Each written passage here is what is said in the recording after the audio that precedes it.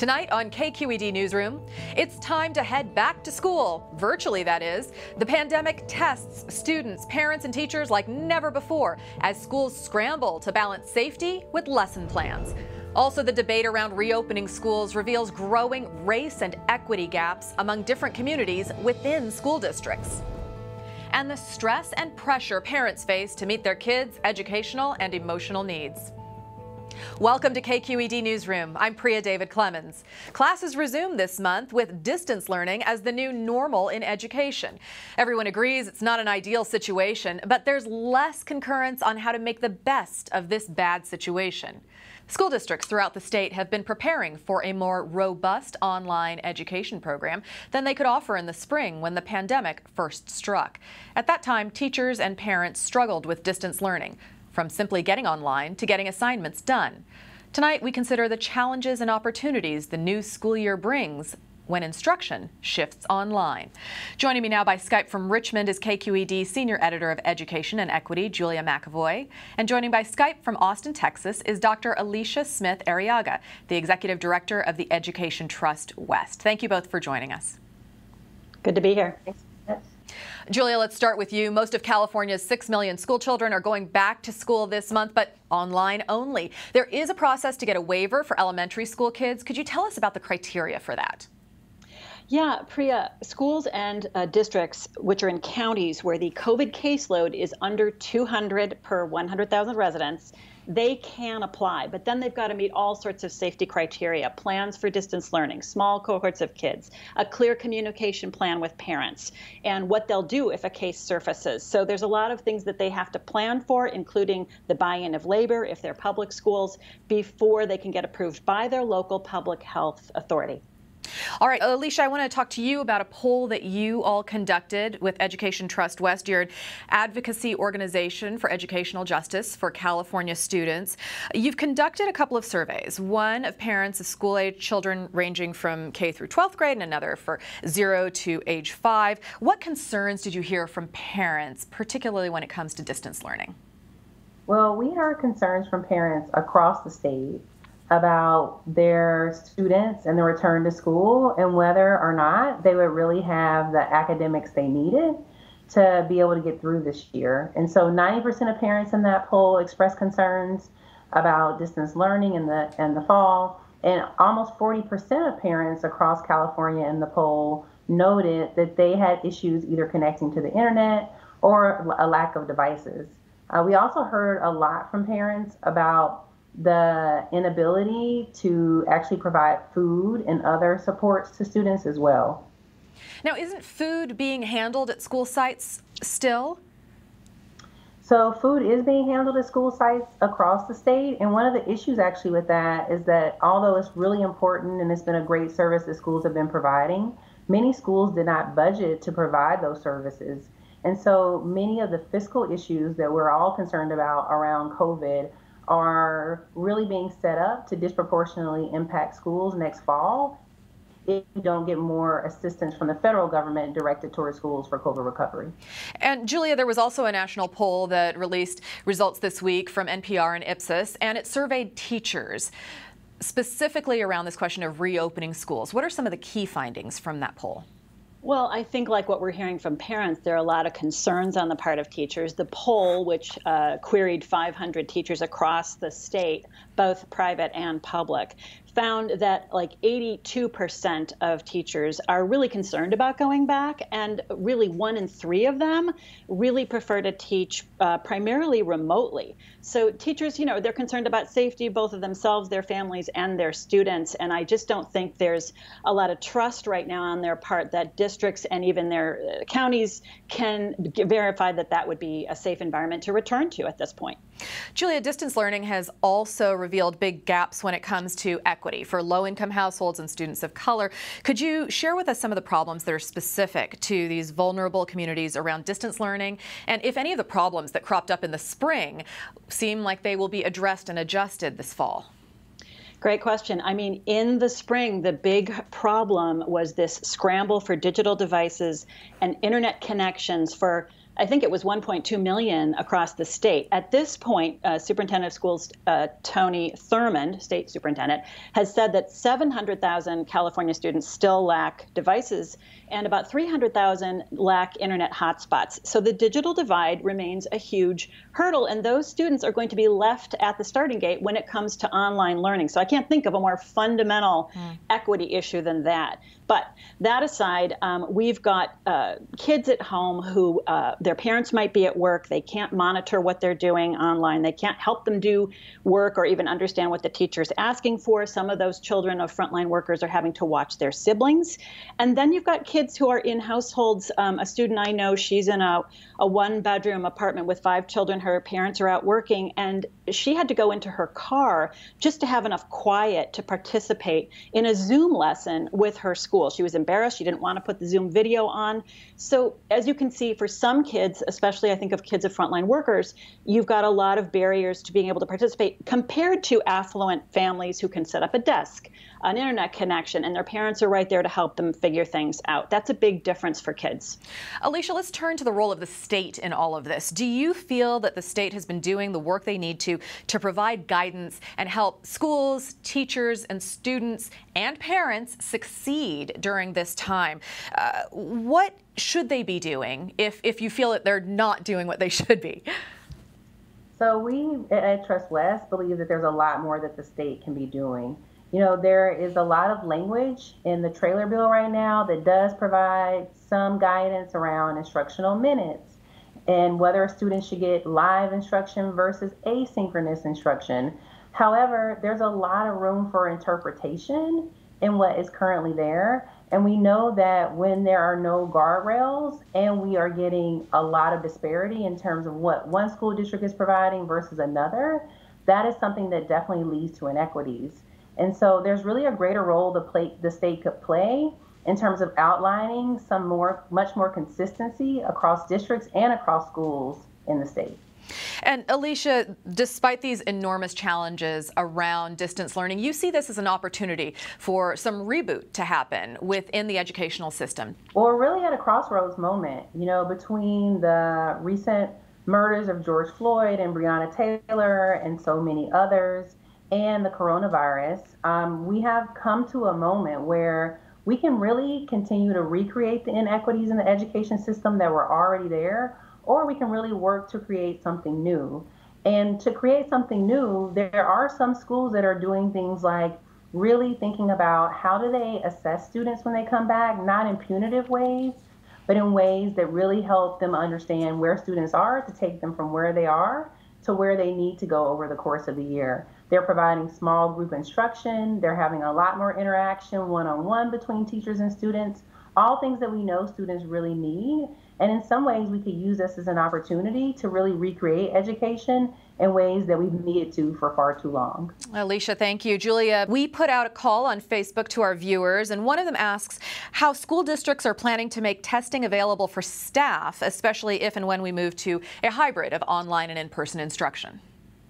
Well, the state guidelines have said that schools are supposed to regularly test staff. How are they supposed to do that and who's supposed to pay for it? At the moment, what they're saying is that um, staff should be tested by community testing sites. And as we know, there has been a movement to get uh, insurance companies to pay uh, for any testing of, of, of, frontline workers or essential workers, and teachers are considered essential workers. So the idea is if you're a teacher in a school, it's not going to be the school paying for this, at least on paper right now. They're saying send this send mm-hmm. folks to a community testing center and then also send them to their own um, sort of health health service and have that pick up the cost. And Elisha, what do you think will make the key difference between those school districts that succeed this year with distance learning and those that don't? So we know one of the most important things that we heard both from the parent poll and continue to hear from uh, organizations across the state is it's going to be pivotal for school districts to partner with parents and make sure that they're providing materials to parents in languages that are their native language. We also know it's going to be super important to really partner deeply with educators and ensure that they have the professional development and tools that they need to really be able to help students and we also know that funding for all this is going to be crucial. We know that we'll need more funds from the federal government, and we know that there are some propositions on the ballot, like Prop 16, which could really help infuse more funds in targeted ways to the students who need it most. And I'm really hopeful that we'll be able to push those three things in more school districts across the state. Julia McEvoy with KQED, Elisha Smith Arrillaga with Education Trust West. Thank you both so much for joining us. Good to be here.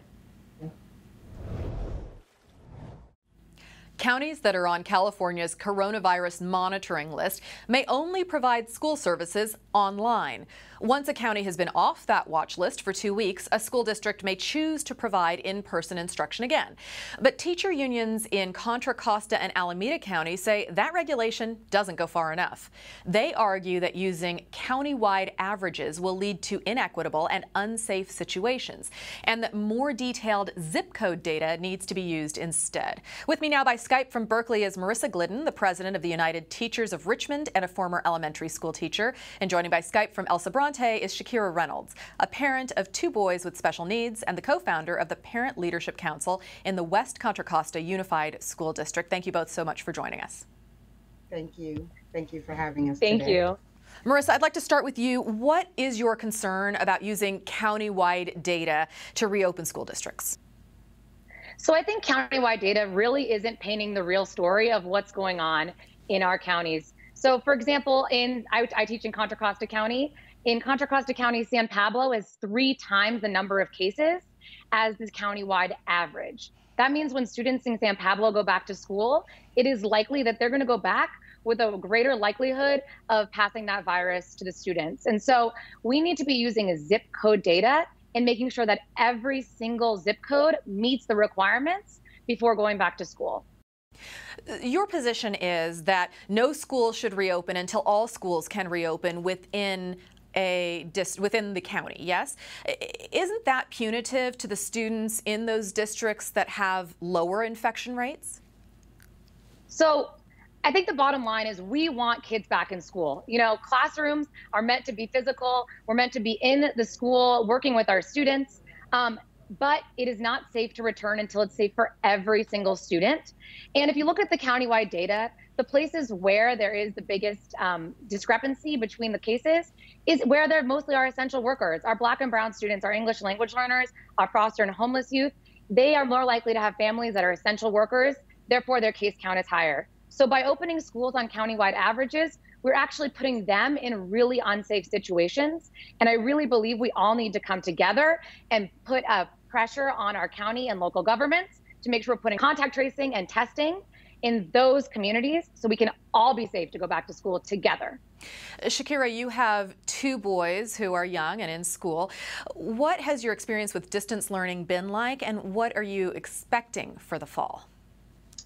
Quite honestly, my experience has been inconsistent. One child had a great experience, a great teacher who really jumped in with the distance learning program, and my other son had a teacher who struggled. Luckily, I feel like the teachers and the district have really put a lot of effort into making sure that the fall will be a different experience. And so I'm expecting that things will go better, but it's still going to be difficult. I have two young children who will both need my constant assistance in order to participate in the program. Mm. Are there any steps that could make distance learning a better experience for you and for your children? Um, I think that some of the steps that we are taking with the new MOU that just came out with UTR just this week is making sure we're having more consistent scheduling, that there is more uh, involvement from the site leaders and the central office. Increased parent training is really, really important, and making sure that we have policies in place to make sure that our neediest students, those who have difficulty accessing distance learning in the past, who don't have consistent Wi Fi, and things like that, we will have a better experience than we had in the spring during what was really emergency learning. It wasn't a distance learning program. Mm-hmm. Marissa, earlier today, your union, the United Teachers of Richmond, reached a deal with the West Contra Costa Unified School District for distance learning. Can you tell me about any specific pieces related to equity in that deal and what a typical day is going to look like? Yeah, I think that the focus we really had when making this deal was equity. And to do that, we worked really directly with our parents, um, with Shakira and the Parent Leadership Council, to make sure they were involved in what it looked like from the parent perspective.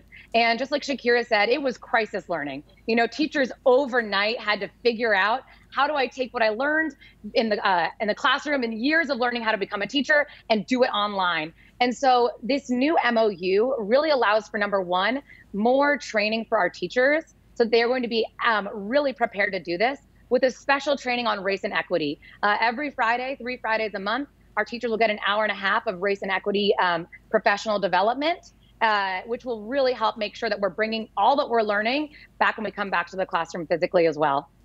Uh, Shakira, most of this conversation around equity has been framed in terms of race. You think it should be broader. Can you tell us about that? Well, I am both a black parent, obviously, but I also have children with special needs. So there is the concerns of equity for children like mine. How are their needs being met in both the distance learning program and in a physical classroom setting. And as a parent, we have so many balls to juggle your therapies and IEPs and different things like that. And so, in every conversation, I always want those needs to also be centered with race and class and income and all of these things have to be part of the conversations that we're having.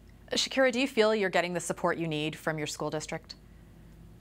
Um, I feel like we are on the road to getting the support that we need. I do feel like my voice was heard when I had problems during the spring, and I am cautiously optimistic. I, I read all 20 plus pages of the MOU. I see special education mentioned explicitly and my as i said my older son had an amazing teacher she did centers on zoom with special needs children and so I expect to have a better experience than I had in um, in the spring. We received a question on Facebook from one of our viewers, um, and Marissa, I'd like to put it to you. They're wondering if schools will be equipped with enough counselors to help students deal with the stress and anxiety that crop up during distance learning. Is your school district requiring mental health counselors to be part of this distance learning process? So this is such a great and important question. Uh, and the answer is no. And I actually don't know of any districts that are actually doing this right now. Hmm. And the problem is we don't have enough funding to make this possible. You know, it's so clear during this crisis learning that schools are central to our community. You know, we we had teachers uh, um, handing out the free and reduced lunch. We had teachers dropping off supplies we had teachers becoming really, you know, the mental health support in addition to the educational professionals for their students. And we need to fund schools like they are the community centers that they really have been serving our community. So, um, no, we are not doing that. I think that's something that uh, we need to step up and do as a state we need to invest in these services for our students. They really deserve it during this crisis, especially.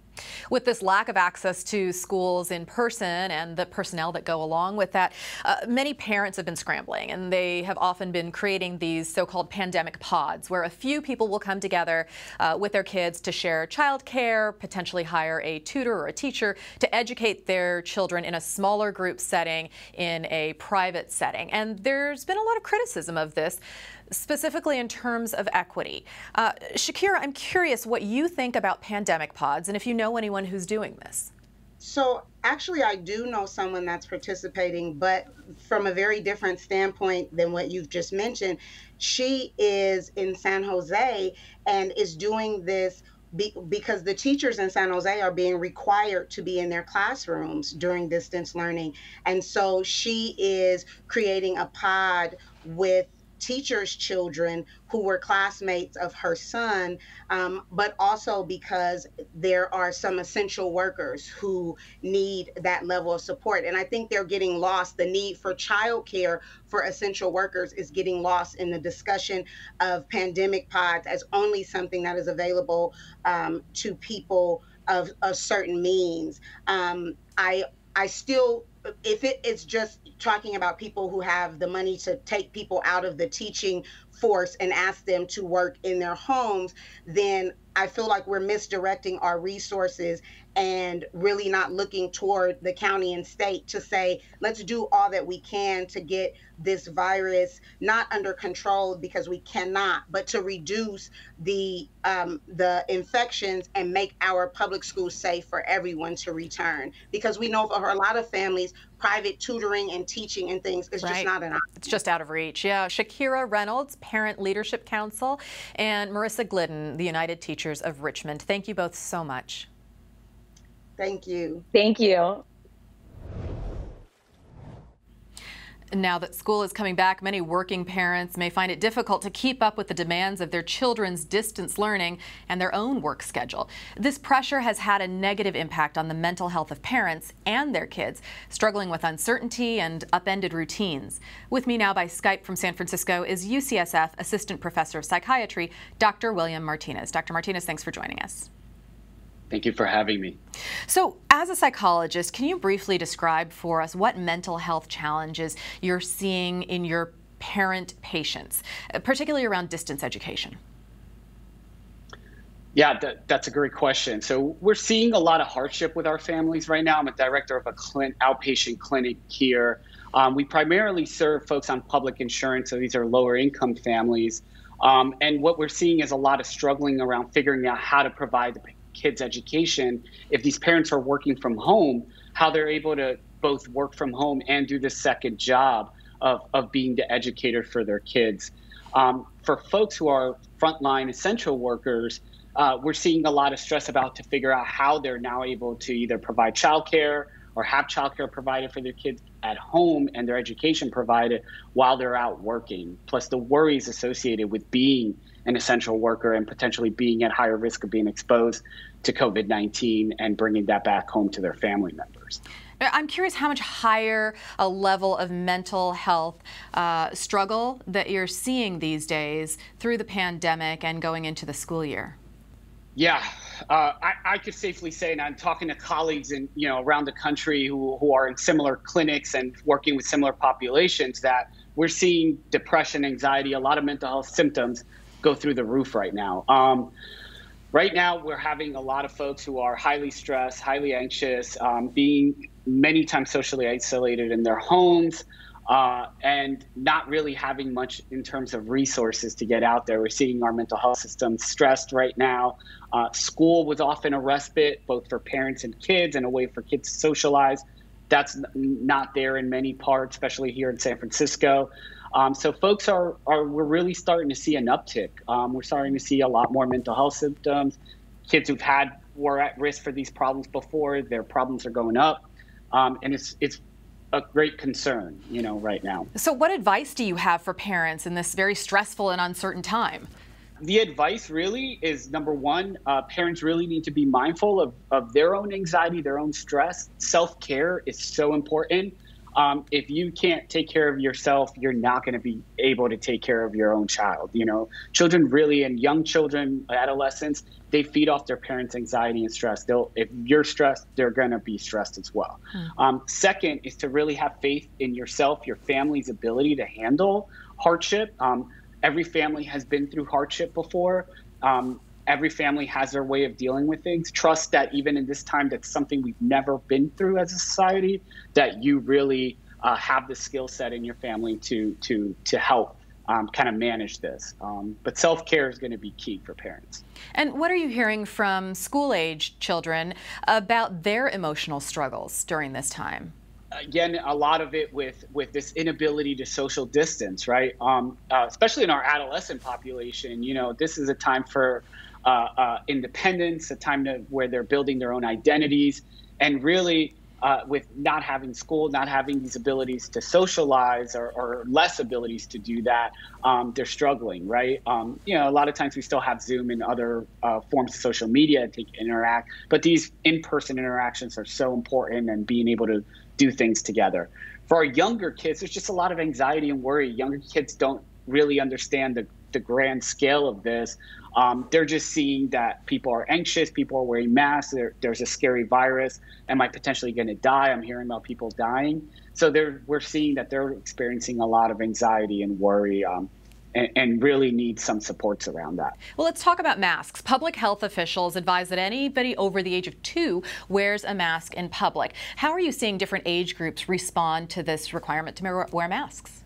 So with with our adolescents, I'll start there. You know, like adolescents just by nature of that uh, stage of development tend to be more risk takers, tend to kind of think that you know whatever's going on in the world doesn't impact them, or, or they're you know more invisible than others.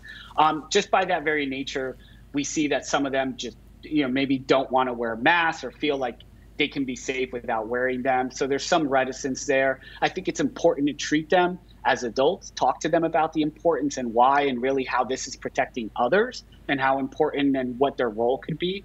With our younger kids, it's just annoying. You know, it could be it's hot, it's scratchy, it's you know, and they're it, it's hard for them to keep up with that. Um, especially a lot of masks. There are masks out there that are made for younger kids, but they're not the most comfortable. So we do see annoyance around that. But they're with the younger kids, we're seeing that they're likely to wear the mask if you really explain why they should.